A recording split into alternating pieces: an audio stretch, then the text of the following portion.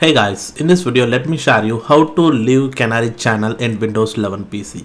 So if you are under the Windows Insider program and if you want to move the Canary channel to developer channel, so now this is the right time to move between the Canary to developer channel. So now Windows has given some time to move between Canary channel to developer channel. For that firstly you need to notice that what Windows build you are currently using. So just to go to the system and go to the about section.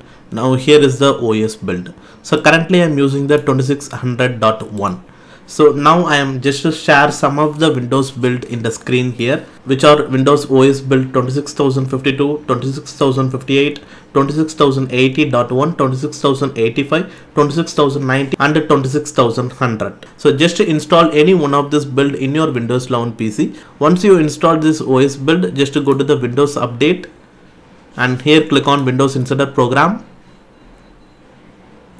Now select the choose your insider settings now here you can see the developer channel option. Now it is available to select. Just click on this option and that's it. Now you are entered into the developer channel. Now this is the right time to move from Canary channel to developer channel without any clean installation procedure.